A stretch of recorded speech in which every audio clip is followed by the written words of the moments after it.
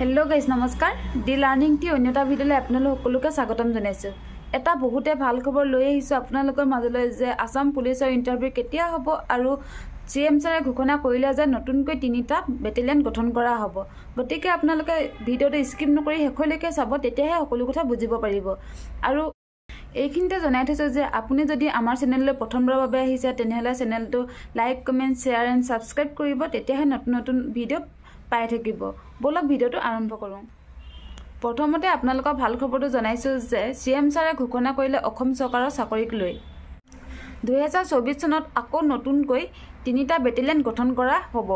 অসম পুলিচৰ বেটেলিয়ান গঠন কৰা হ'ব নে কামাণ্ডো গঠন কৰা হ'ব সেইটো এতিয়ালৈকে কোৱা নাই। তেওঁ তেওঁ এইটোৱে কৈছে যে নতুনকৈ তিনিটা বেটেলিয়ান গঠন কৰা হ'ব। লগতে কৈছে যে ত্ৰিছ পঁয়ত্ৰিছ হাজাৰ চাকৰি ওলাব। গতিকে তাতে থাকিব নতুনকৈ ওলোৱা তিনিটা বেটেলিয়ান। এইটো বহুতেই ভাল খবৰ যে ত্ৰিছ পঁয়ত্ৰিছ হাজাৰ নতুনকৈ চাকৰি ওলাব।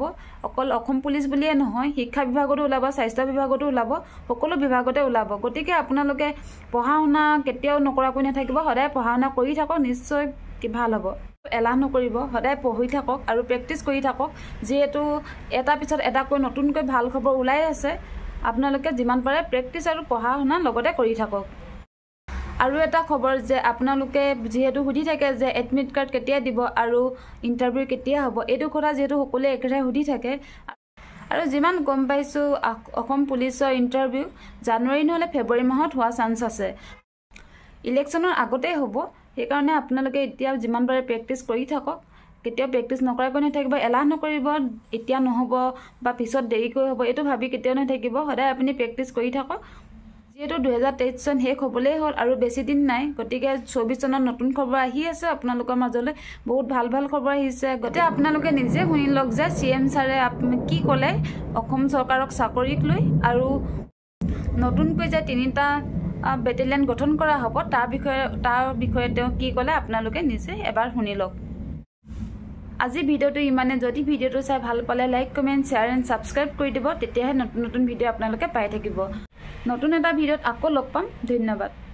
আৰু grade three grade four. Total বাইছ হাজাৰৰ এডভাৰটাইজ ওলাই গৈছে। বি টি আৰত দুই এদিনতে বাৰশ এল পি স্কুল শিক্ষকৰ নিযুক্তিৰ এডভাৰটাইজ ওলাব। অসমতো আৰু দহ হাজাৰ ওলাব। তাৰমানে টোটেল মিলি নতুন বছৰৰ পৰা আৰম্ভ হোৱা বছৰটোত আৰু পঁয়ত্ৰিছ হাজাৰমান অসমৰ ডেকা ল'ৰাই চাকৰি পাব। আছাম টেট এল পি আৰ ইউ পিসকলৰ ৰিকুৱাৰমেণ্টৰ ক্ষেত্ৰত এই দুই এদিনতে ওলাব। মই কালি নে পৰহি ফাইলটো এপ্ৰুভ কৰি দিছোঁ। দুই এদিনতে এডভাৰটাইজ ওলাব।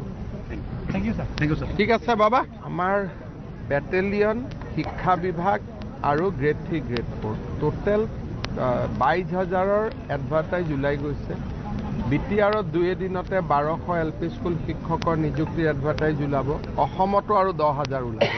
তাৰমানে টোটেল মিলি নতুন বছৰৰ পৰা আৰম্ভ হোৱা বছৰটোত আৰু পঁয়ত্ৰিছ হাজাৰমান অসমৰ ডেকা ল'ৰাই চাকৰি পাব।